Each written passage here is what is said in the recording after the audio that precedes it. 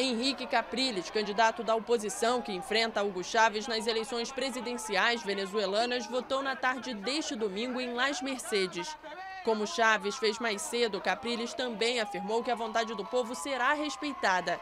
O candidato ainda pediu ao Conselho Nacional Eleitoral que divulgue os resultados o mais rápido possível.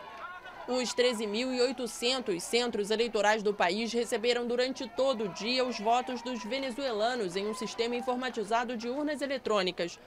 O eleito vai governar o país entre 2013 e 2019.